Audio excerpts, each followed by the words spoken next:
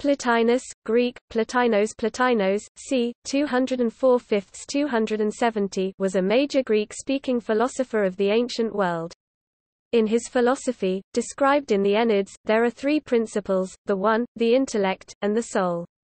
His teacher was Ammonius Saccas and he is of the Platonic tradition. Historians of the 19th century invented the term Neoplatonism and applied it to him and his philosophy which was influential in late antiquity. Much of the biographical information about Plotinus comes from Porphyry's preface to his edition of Plotinus Enneads. His metaphysical writings have inspired centuries of pagan, Islamic, Jewish, Christian, and Gnostic metaphysicians and mystics.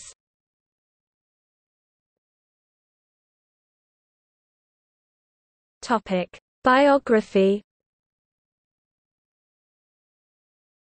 Porphyry reported that Plotinus was 66 years old when he died in 270, the second year of the reign of the Emperor Claudius II, thus giving us the year of his teacher's birth as around 205. Eunapius reported that Plotinus was born in the deltaic Lycopolis in Egypt, which has led to speculations that he may have been a native Egyptian of Roman, Greek, or Hellenized Egyptian descent. Plotinus had an inherent distrust of materiality an attitude common to Platonism, holding to the view that phenomena were a poor image or mimicry mimesis of something higher and intelligible, vi I, which was the truer part of genuine being. This distrust extended to the body, including his own. It is reported by Porphyry that at one point he refused to have his portrait painted, presumably for much the same reasons of dislike. Likewise Plotinus never discussed his ancestry, childhood, or his place or date of birth. From all accounts his personal and social life exhibited the highest moral and spiritual standards. Plotinus took up the study of philosophy at the age of 27, around the year 232, and traveled to Alexandria to study. There he was dissatisfied with every teacher he encountered until an acquaintance suggested he listen to the ideas of Ammonius Saccas. Upon hearing Ammonius' lecture, he declared to his friend, "This was the man I was looking for," and began to study intently under his new instructor. Besides Ammonius, Plotinus was also influenced by the works of Alexander of Aphrodisias, Numenius, and various Stoics.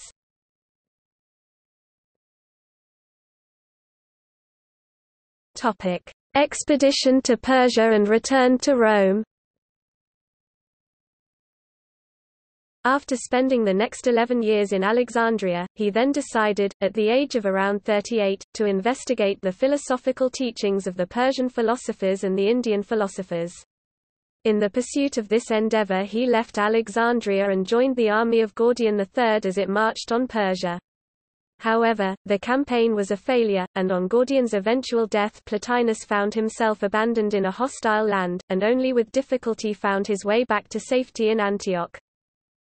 At the age of 40, during the reign of Philip the Arab, he came to Rome, where he stayed for most of the remainder of his life. There he attracted a number of students. His innermost circle included Porphyry, Amelius Gentilianus of Tuscany, the senator Castricius Firmus, and Eustochius of Alexandria, a doctor who devoted himself to learning from Plotinus and attending to him until his death. Other students included, Zethos, an Arab by ancestry who died before Plotinus, leaving him a legacy and some land, Zoticus, a critic and poet, Paulinus, a doctor of Scythopolis, and Serapion from Alexandria. He had students amongst the Roman Senate beside Castricius, such as Marcellus Orontius, Sabinillus, and Rogatianus. Women were also numbered amongst his students, including Gemina, in whose house he lived during his residence in Rome, and her daughter, also Gemina, and Amphiclea, the wife of Ariston the son of Iamblichus. Finally, Plotinus was a correspondent of the philosopher Cassius Longinus.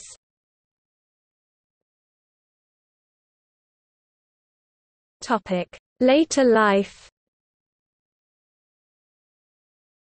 While in Rome Plotinus also gained the respect of the Emperor Gallienus and his wife Salonina. At one point Plotinus attempted to interest Gallienus in rebuilding an abandoned settlement in Campania, known as the City of Philosophers, where the inhabitants would live under the constitution set out in Plato's laws. An imperial subsidy was never granted, for reasons unknown to Porphyry, who reports the incident. Porphyry subsequently went to live in Sicily, where word reached him that his former teacher had died. The philosopher spent his final days in seclusion on an estate in Campania which his friend Zethos had bequeathed him.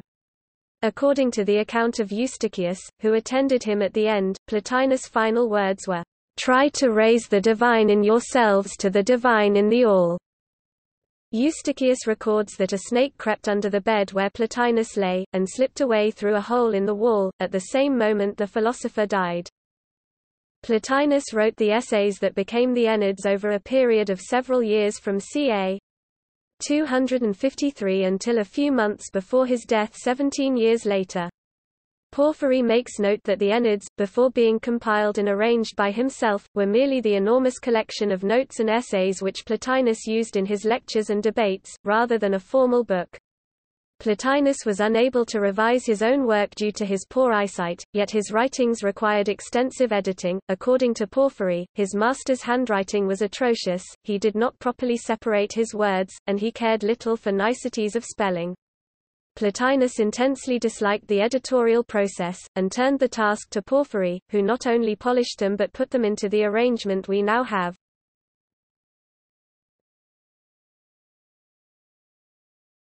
Topic: Major ideas.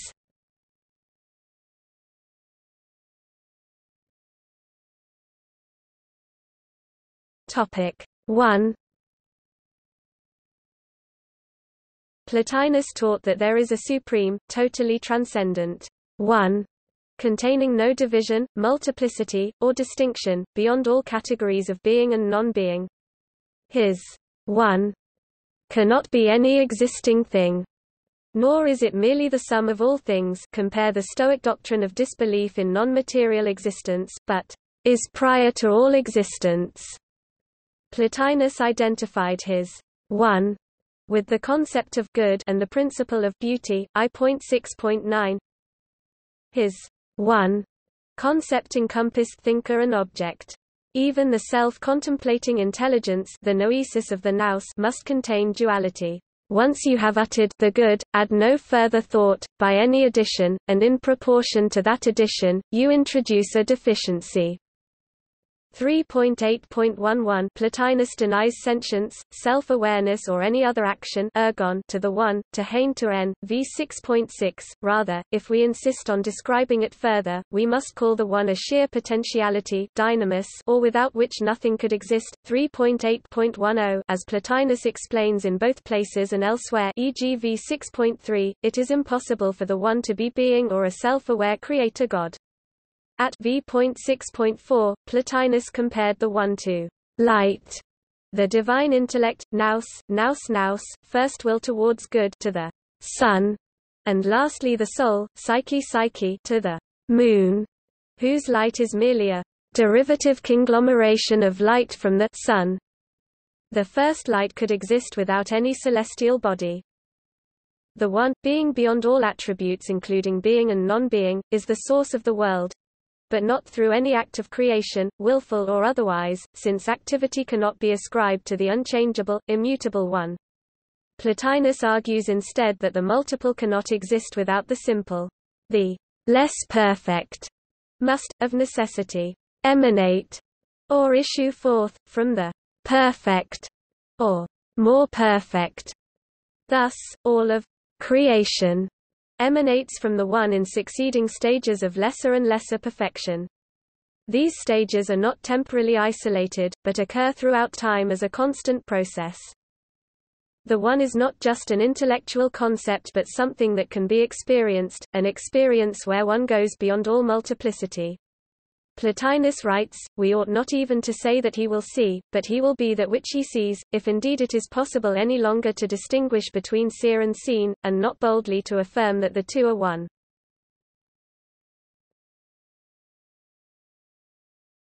Topic. Emanation by the One Superficially considered, Plotinus seems to offer an alternative to the orthodox Christian notion of creation ex nihilo out of nothing, although Plotinus never mentions Christianity in any of his works. The metaphysics of emanation aporo aporo E.3.2 or aporoia aporoia 2.3.11, however, just like the metaphysics of creation, confirms the absolute transcendence of the One or of the Divine, as the source of the being of all things that yet remains transcendent of them in its own nature. The One is in no way affected or diminished by these emanations, just as the Christian God in no way is affected by some sort of exterior nothingness Plotinus, using a venerable analogy that would become crucial for the largely Neoplatonic metaphysics of developed Christian thought, likens the one to the sun which emanates light indiscriminately without thereby diminishing itself, or reflection in a mirror which in no way diminishes or otherwise alters the object being reflected. The first emanation is nous divine mind, logos, order, thought, reason, identified metaphorically with the demiurge in Plato's Timaeus. It is the first will toward good. From nous proceeds the world soul, which Plotinus subdivides into upper and lower, identifying the lower aspect of soul with nature. From the world soul proceeds individual human souls, and finally, matter, at the lowest level of being and thus the least perfected level of the cosmos. Despite this relatively pedestrian assessment of the material world, Plotinus asserted the ultimately divine nature of material creation since it ultimately derives from the One, through the mediums of nous and the world soul. It is by the good or through beauty that we recognize the One, in material things and then in the forms, I.6.6 and I6.9. The essentially devotional nature of Plotinus' philosophy may be further illustrated by his concept of attaining ecstatic union with the One henosis. Porphyry relates that Plotinus attained such a union four times during the years he knew him. This may be related to enlightenment, liberation, and other concepts of mystical union common to many Eastern and Western traditions.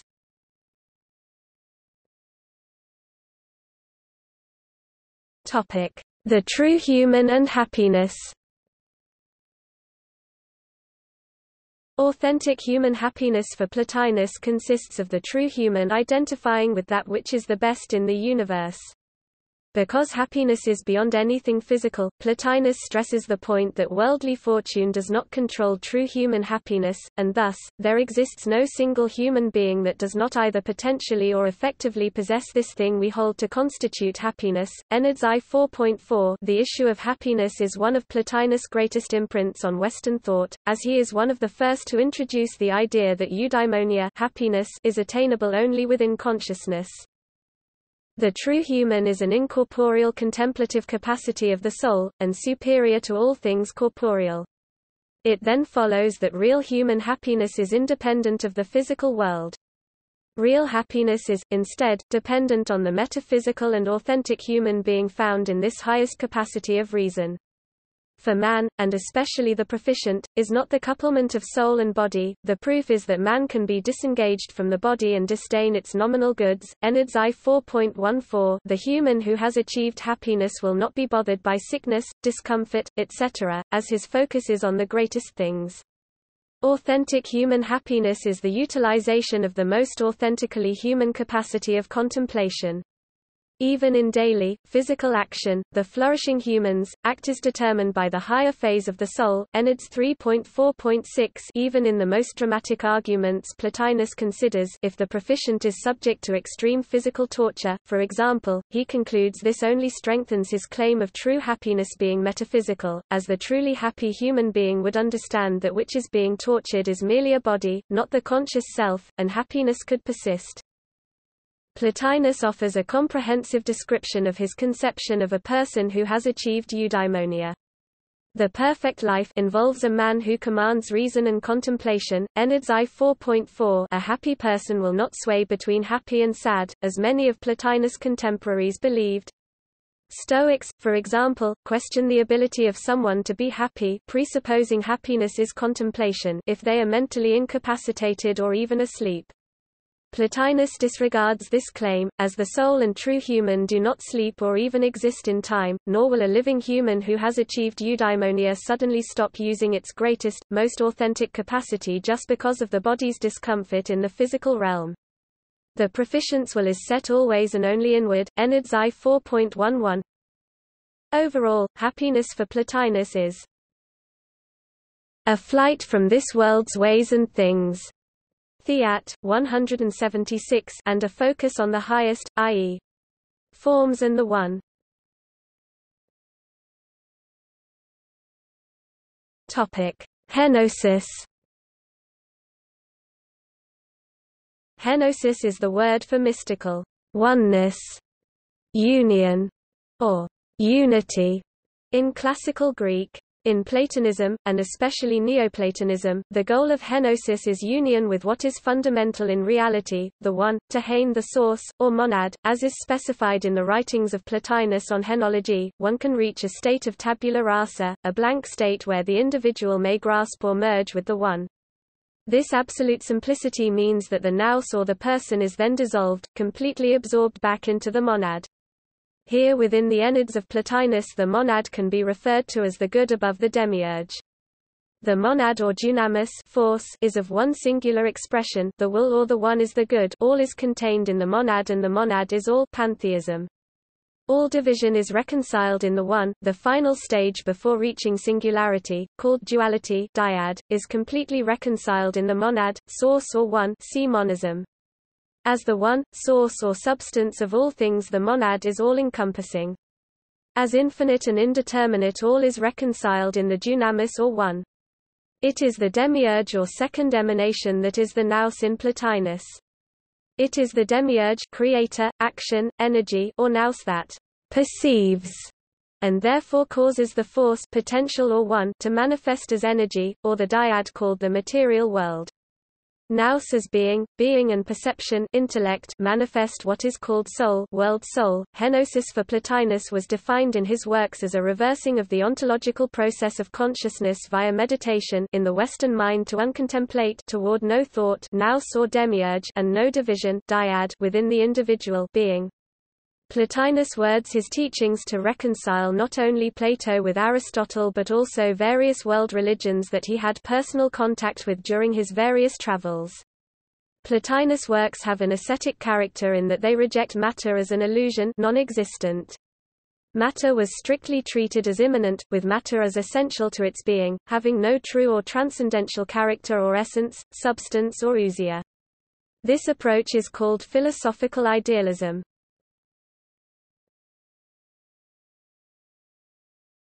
Topic: Relation with contemporary philosophy and religion.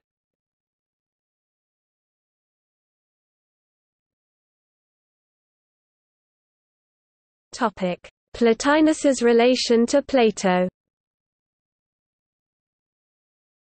For several centuries after the Protestant Reformation, Neoplatonism was condemned as a decadent and oriental distortion of Platonism. In a famous 1929 essay, E. R. Dodds showed that key conceptions of Neoplatonism could be traced from their origin in Plato's dialogues, through his immediate followers e.g., Speusippus and the Neo-Pythagoreans, to Plotinus and the Neoplatonists. Thus Plotinus' philosophy was, he argued, not the starting point of Neoplatonism but its intellectual culmination. Further research reinforced this view and by 1954 Merlan could say the present tendency is toward bridging rather than widening the gap separating Platonism from Neoplatonism. Since the 1950s, the Tübingen school of Plato interpretation has argued that the so-called unwritten doctrines of Plato debated by Aristotle and the early Academy strongly resemble Plotinus's metaphysics. In this case, the Neoplatonic reading of Plato would be, at least in this central area, historically justified. This implies that Neoplatonism is less of an innovation than it appears without the recognition of Plato's unwritten doctrines. Advocates of the Tübingen school emphasize this advantage of their interpretation. They see Plotinus as advancing a tradition of thought begun by Plato himself. Plotinus's metaphysics, at least in broad outline, was therefore already familiar to the first generation of Plato's students. This confirms Plotinus' own view, for he considered himself not the inventor of a system but the faithful interpreter of Plato's doctrines.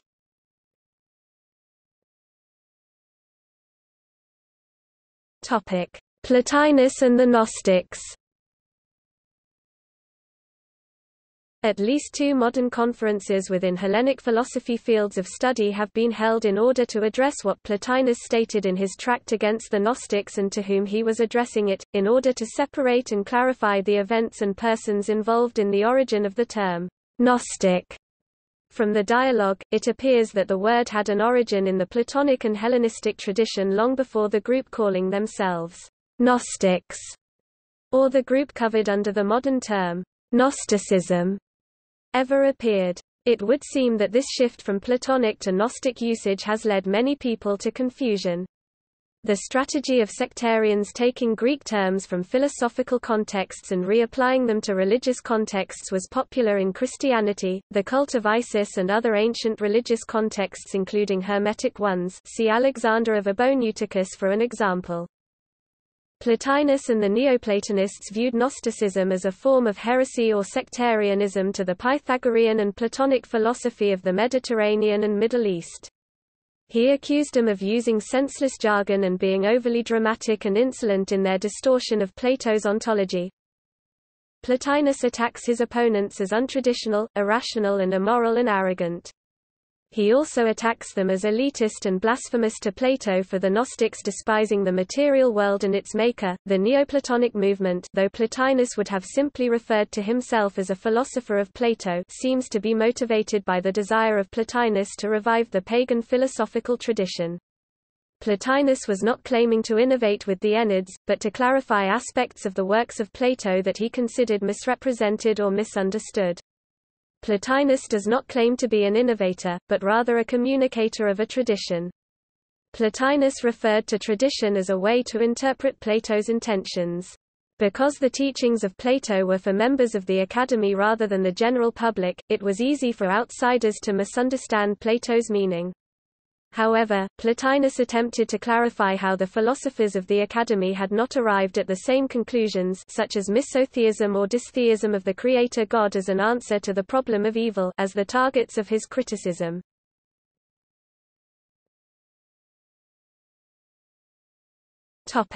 Against causal astrology Plotinus seems to be one of the first to argue against the still popular notion of causal astrology. In the late Tractate 2.3, Are the stars causes? Plotinus makes the argument that specific stars influencing one's fortune a common Hellenistic theme attributes irrationality to a perfect universe, and invites moral depravity. He does, however, claim the stars and planets are ensouled, as witnessed by their movement.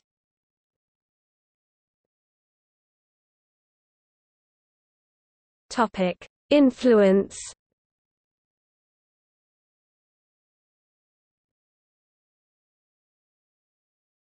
Topic: Ancient world. The Emperor Julian the Apostate was deeply influenced by Neoplatonism, as was Hypatia of Alexandria. Neoplatonism influenced many Christians as well, including Pseudo-Dionysius the Areopagite. Saint Augustine, though often referred to as a Platonist, acquired his Platonist philosophy through the mediation of the Neoplatonist teachings of Plotinus.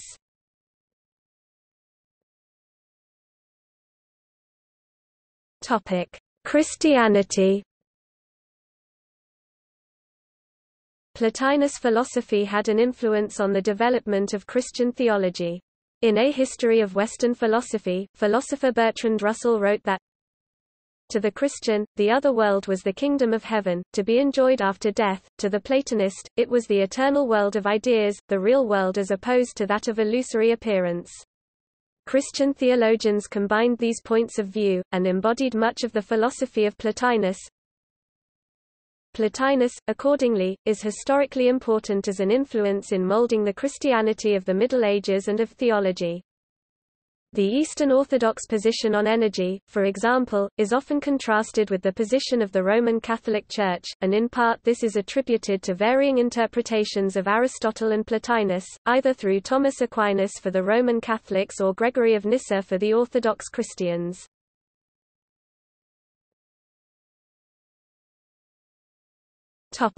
Islam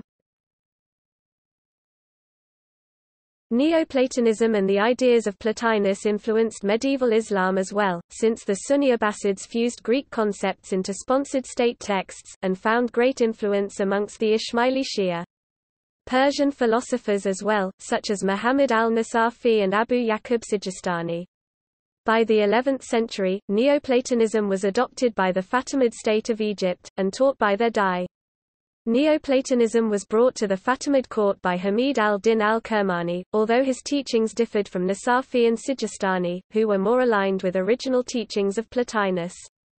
The teachings of Kermani in turn influenced philosophers such as Nasir Khusraw of Persia.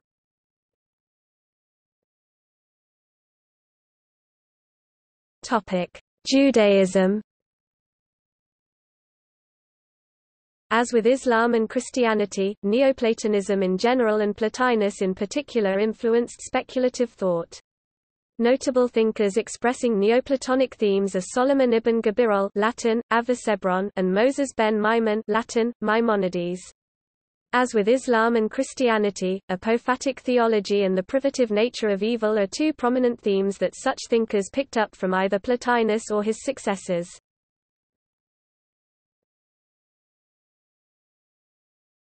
Topic: Renaissance.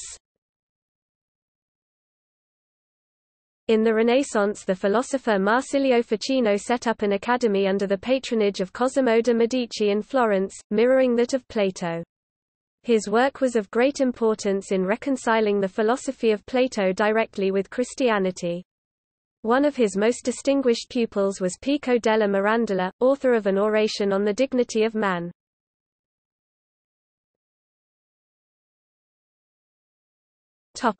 England In England, Plotinus was the cardinal influence on the 17th-century school of the Cambridge Platonists, and on numerous writers from Samuel Taylor Coleridge to W. B. Yeats and Kathleen Raine.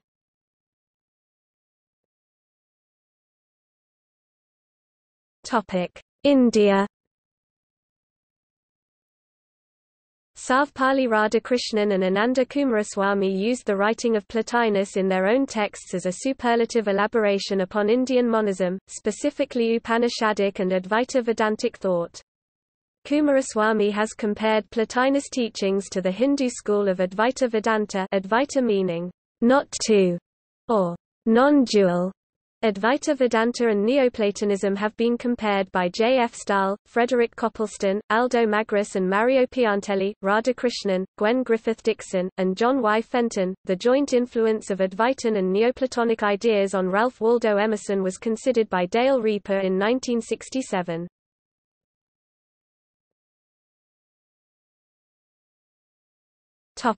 See also equals equals notes